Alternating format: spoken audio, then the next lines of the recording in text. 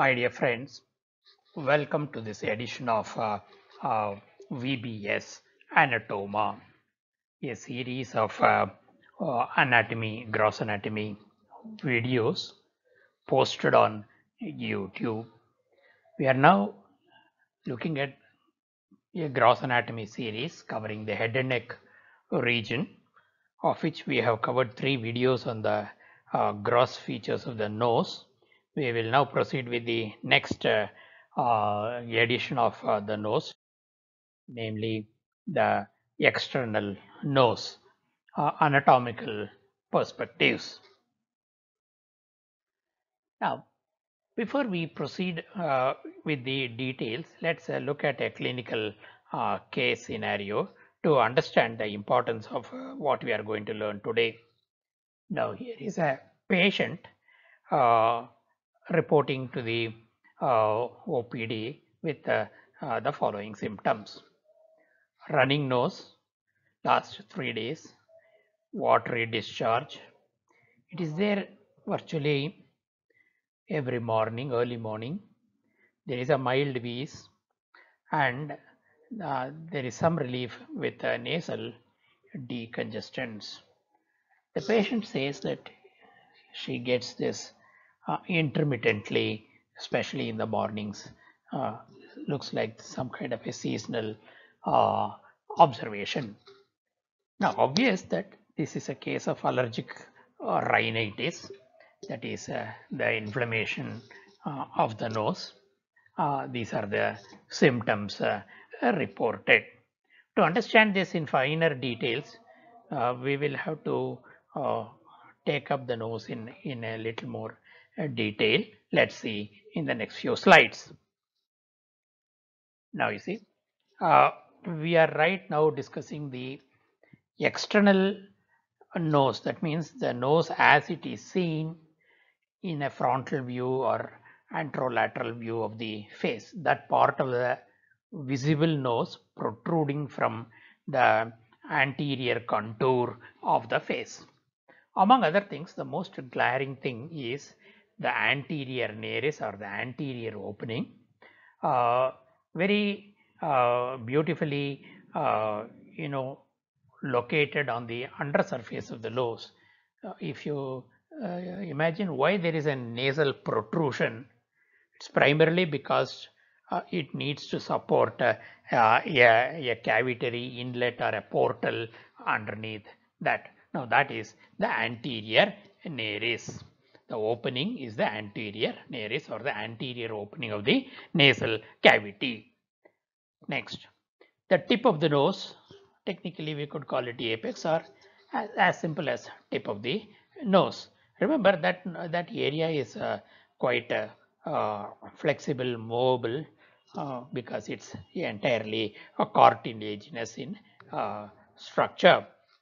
Next, at the other end, that is at the upper end, uh, normally most triangular structures we will call the upper end as the apex, but here there is a slight change in the terminology. The upper end is called the bridge of the nose. Yeah, if you would like to know technically what exactly I mean by the bridge of the nose, especially those of you who are uh, uh, using spectacles, roughly it is the spot where the uh, two, um, shall we say, nose rests uh, will be anchored when the um, spectacle is in uh, correct position. Roughly that, that region is the bridge of the nose. Uh, Similarly, on the other side, now remember, it's not only the external nose that we are trying to uh, cover in, uh, in terms of anatomical features, but also this structure in relation to other structures in its vicinity. Therefore, right below the uh, apex of the nose and the uh, lower border of the septum of the nose, uh, there is a uh, area of skin exactly in the midline uh, running from uh, uh, the inferior margin of the septum of the nose to the uh, upper lip. It's a slightly excavated, shallow excavated region covered with skin. That's the philtrum. Next. Also to note in the same vicinity of this uh, external nose is this important fold called the nasolabial fold. Next, uh, we are generally given to understand that um, the um, uh, external nose is a triangular um, area. However, we could also look at it as a, uh, a, a three-sided pyramid with a base below uh, and an apex above. This is also possible. The two anterolateral sides of this pyramid uh, is the lateral wall. This lateral wall, the upper part, although it is continuously covered with skin all over, the deep inside, the upper part has a bony base and the lower part is cartilaginous. That means there is a distinct contrast between the two zones, upper zone and the lower zone. Now that's the lateral wall, bony part being shown here. Next, similarly, the lower part, the lateral wall, is the cartilaginous part. Next, as already shown in the previous discussion on the uh, philtrum, I have already introduced you to the visible part of the nasal septum. This label reinforces that point. Next, uh, the word dorsum of the nose is a loose term used in uh, anatomical terminology. Uh, at least if we say the apex, we know the location very specifically, but the dorsum refers to more or less the entire visible surface of the nose in the frontal view of the face. Next, the extreme lower lateral region of the visible part of the nose is uh, a cartilaginous piece uh, in its core covered with skin. That area is called ala. Although cartilaginous, remember uh, these bits of cartilage, uh, all, although they can be deformed, they return back to their original shape. So they have high element of elasticity built into them. Now that's the ala of the uh, nose. Now see, uh, the rest of the uh, uh, pointer is on the lateral wall.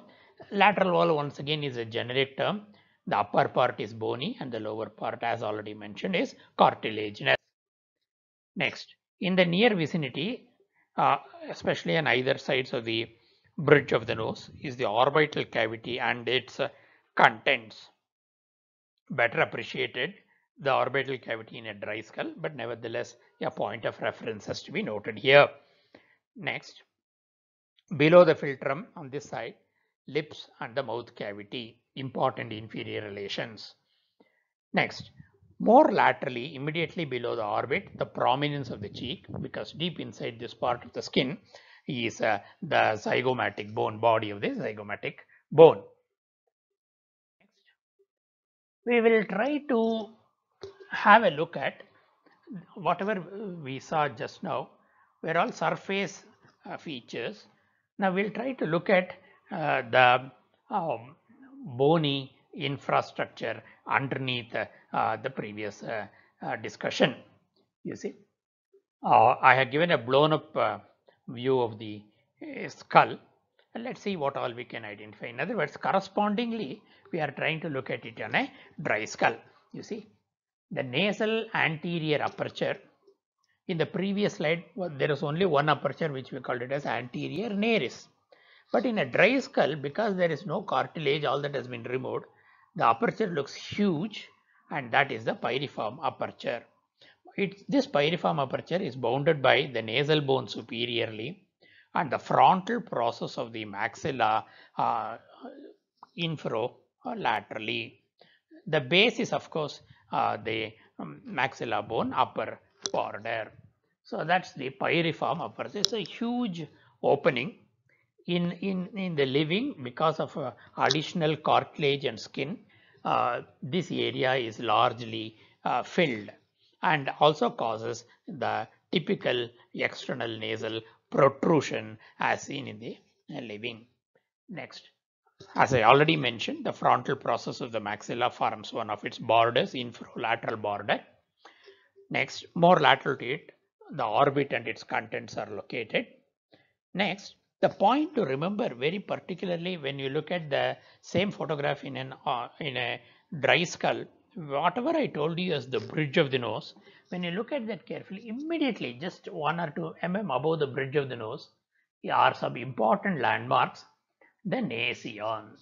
It is a junction between, I repeat, internasal, that is this vertical internasal suture and the horizontal frontonasal. That means there are four um, uh, sutures um, sorry, three sutures, I would say. The vertical one is a single midline suture.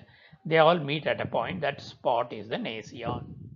And to, to give you a more clearer, uh, more additional information, about a centimeter above it is a very prominent uh, location of the frontal bone, which we call it as uh, the uh, glabella. Uh, although not shown in this photo, uh, not labeled, it's a little above this nasion. Next the huge cavity underneath this area uh, immediately above the uh, oral cavity and infralateral to the nasal cavity is the maxillary sinus.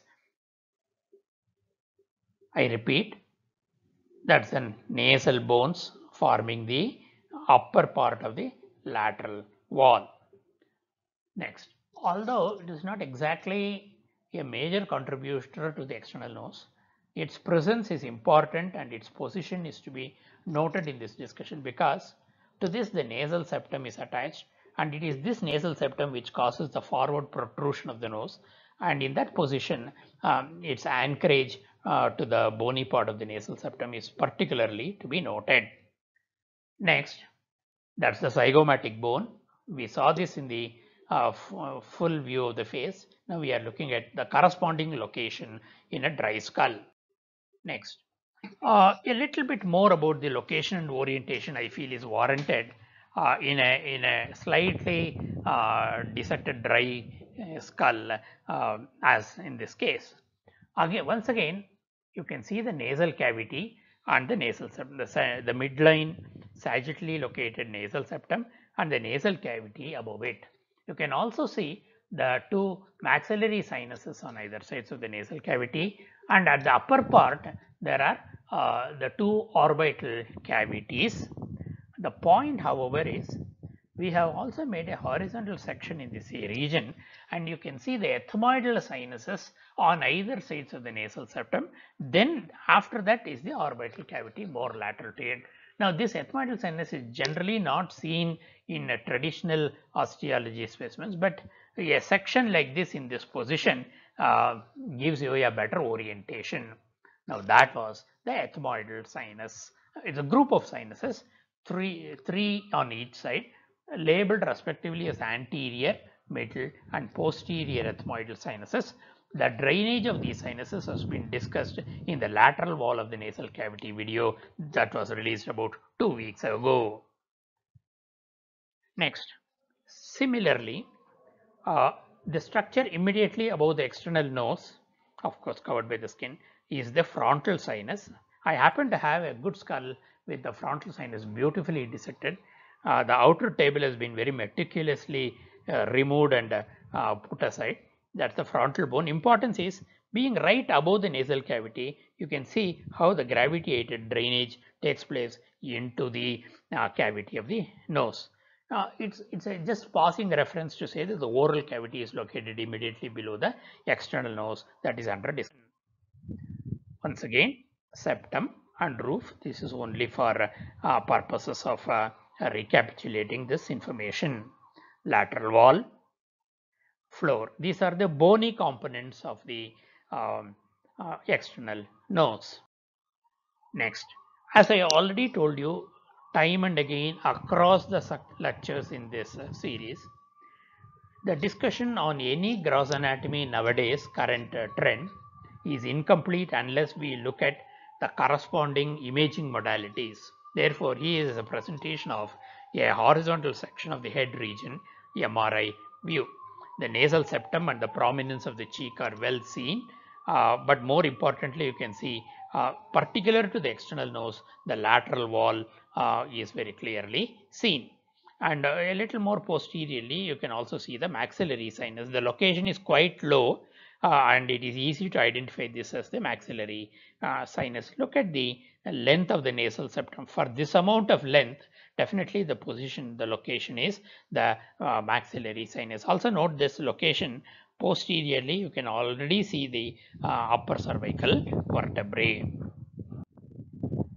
Next, uh, yet another MRI, but the location is slightly higher up. Uh, there is no maxillary sinus here. Uh, the nasal septum is shown. Instead of maxillary sinus being lateral here, the orbital cavity, you can see the triangular uh, contour of the orbital cavity and also a, a little uh, dull outline of the uh, eyeballs on either sides. This clearly shows that this is a horizontal section at a much higher level than the previous uh, photograph. Now, particularly, you can see the ethmoidal sinuses very, very clearly in between the orbital cavity and the, nasal lateral wall of the nasal cavity. So that's the ethmoidal sinuses. Once again, it is divided into anterior, middle and posterior ethmoidal sinus. Although the pointer is on the middle ethmoidal sinus, uh, the anterior is in front of it, that is in this photograph above, and uh, the posterior is behind it, or in this photograph it is below the pointer. Next. This is more or less a corresponding actual cross section to the previous uh, two photographs. The, the length of the nasal septum clearly indicates that we are at a very low level, um, almost at the level of the lower border of the nasal septum. You can, sorry, nasal external nose. The nasal septum is visible and on either sides you can see the maxillary uh, sinus, the thick mucosal covering uh, almost blocks the uh, cavity of the maxillary sinus in this location. Now that's the lateral wall, the alar region and that's the maxillary sinus on one side, slightly larger on the opposite side. Next, here is a sagittal section of the um, actual uh, wet specimen head region, but beautifully the nasal septum has been cut in the posterior part so that the lateral wall is visible on the posterior two-thirds and the septum, nasal septum itself is still intact in the anterior part. So that is the nasal septum. A little in front of it you can see the external uh, nose, the skin, bone and cartilage of the external nose. The lower part of the cartilage here has been labeled that's the alar cartilage. Right behind the alar cartilage you can see the vestibule of the nose and also that gap there between the lip, uh, the skin of the lip and the skin of the nose is the anterior nares. Next, just for completion's sake, total orientation so that in virtually every angle, every plane, every sections, I am trying to position the features of the external nose. So that's the hard palate separating the anterior part of the nasal cavity from the oral cavity. Next, once again in front of the hard palate, the attachment of the upper lip, you can see um, the skin in front of it and the mucous membrane behind and in the core is the orbicularis oris muscle. Next, as I mentioned earlier, that's the label for the vestibule of the nose that just appeared. Now, that was a broad coverage of the uh, general features or anatomical features of the external nose.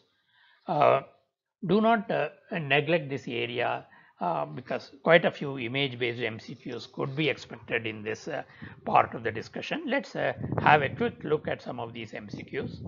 Please note that the answer key is available at the end of this video, but I suggest before you make the tendency to look at the answer keys, try to take a clear decision on your own, freeze your answer mentally, then check whether you were right or wrong.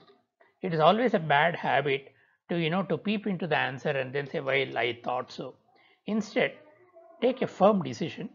You may be right, you may be wrong, but you are always right because in a way, in, in, in a different context, because the person who takes uh, a clear decision is always right in terms of attitude. The decision may be wrong or right, but then uh, having taken a decision puts you in the right attitude in handling uh, these uh, questions. Now, I may go a little fast, but then it is ideal that you students pause the video at each of these. Take your own time because this is the learning phase uh, and the slide itself is not time bound except for the running video. Identify, this is MCQ number one. Identify the pointed structure. That yellow arrow is pointing to what I want you to identify. Now here is an MRI uh, of the head region showing the nasal cavity in particular uh, at the anterior part, the lower part of the external nose. I mean, among other things, I, I want you to specifically identify what that uh, arrow marker is pointing to. Choose your answer. Next question. On a dry skull, I have put two arrow marks that gives you a clue that this probably is a huge orifice I am looking at. Identify that um, opening. Remember it's a dry skull. The two arrow marks are pointing to the edge of a large opening. Identify that opening. Once again there are four choices. Choose your right answer. Next question MCQ number 3. Again here is a sagittal section of a, a wet specimen uh, where a, a parasagittal section has been taken. The nasal septum is intact in the front part and the, and, and the posterior half of the um, nasal cavity. The septum has been cleanly off, trimmed off so that the lateral wall is seen. Nevertheless, uh, in the anterior region, particularly around the external nose, the arrow is pointing to a particular area or a particular space, that blackish area. Try to identify what it is and uh, freeze your answer. Next MCQ. Uh, as I told you, if you are running short of time, freeze the video at that particular slide, go through as much time as you want. Now here is a red, white uh, set of dashed circle. Identify the encircled area, what it is. Again, think over, there are four choices. Choose the best answer. Next, last MCQ is this. Now, given an external view of the nose, external nose, uh, as seen in the living individual, I have put a small rectangular uh, area marked in yellow suggesting it's a bone I am expecting you to identify. What is this bone? I identify, come to an answer and then uh, go to the next uh, slide for the answer key. If you are ready, let's look at the answer keys. Here is your answer keys. Question number 1, 2, 3, 4 and 5 that is MCQ uh, 1 to 5 and the corresponding keys are shown at the tip of the keys. Uh, that technically completes this discussion on the uh, gross features of the external nose. Uh, I hope you have benefited by going through this short video. I'm sure if you, you may have some queries or a feedback that you would love to uh, send it to me. This is my email ID. You can uh, write it across to this email ID or better still, there is a blog area where you can type in your viewpoints and participate in a discussion. This blog area is available immediately below the uh, video in the YouTube channel. So with those remarks, I would uh, um, uh, take leave of you on this video and uh, hope to return to you with a new set of videos. In the nasal series, I am planning to record one for each of the um, sinuses, either singly or uh, in, in group that, that depends on the number of slides. So we will try to cover the frontal sinus, ethmoid sinus and maxillary sinus. Certainly for the amount of information available, the maxillary sinus is going to uh, warrant a full discussion, full uh, video. Let's uh, see about the other two uh, sinuses, whether it can be combined or it should be in separate views. Thank you, my dear uh, friends. Wishing you all the best.